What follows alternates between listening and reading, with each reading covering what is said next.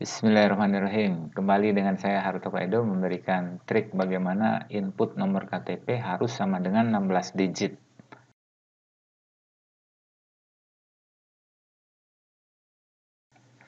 Contoh gini, namanya KTP kan 16 digit.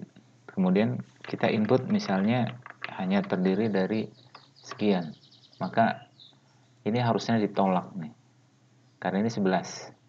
Nah, untuk menghitung ini terlebih dahulu bagaimana cara menghitung jumlah ini 2 atau 4, 5 gitu. Ini caranya mudah. Letakkan pada sini ya. Klik sama dengan tulis LEN. Double klik. Arahkan pada sini. Enter.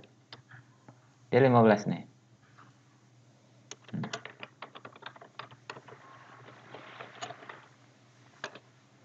Dia 11 karakter. Tapi kalau ini dirapatkan 10. Jadi spasi pun itu sudah dihitung dengan karakter.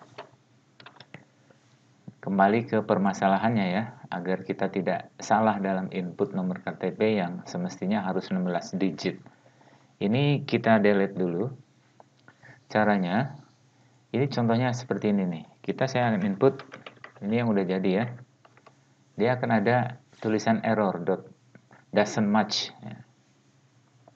jadi tidak sama. Maka harus 16 kalau di input lebih misal kayak gini kelebihan nih itu pun sama. Dia tidak mau karena 19 karakter.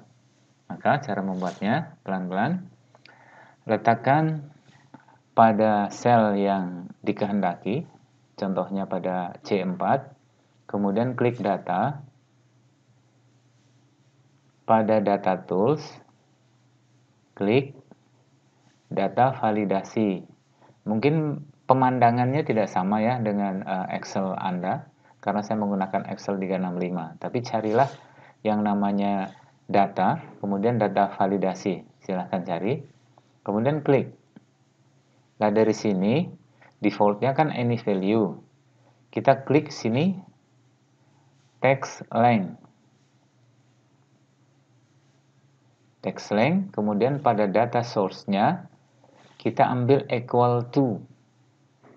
Pelan-pelan. Length-nya kita tulis angka 16 16 ya. Klik OK Nah, maka ketika kita input 1, 2, 3, enter, dia tidak mau karena 3. Kita retry, ulangi. 1, 2, 3, 4, 5, 6, enter. Dia hanya di 6 karakter. Perhatikan di sini. Maka tidak mau. Harus 16. 1, 2, 3, 4, 5, 6, 7, 8, 9, 10, 11, 12, 13, 14, 15, 16. Kita enter. Ini baru berhasil.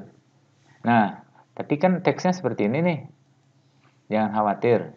Tampilkan karena kita belum set up untuk uh, posisi atau jenis dari number. Maka di sini pada home, pada general,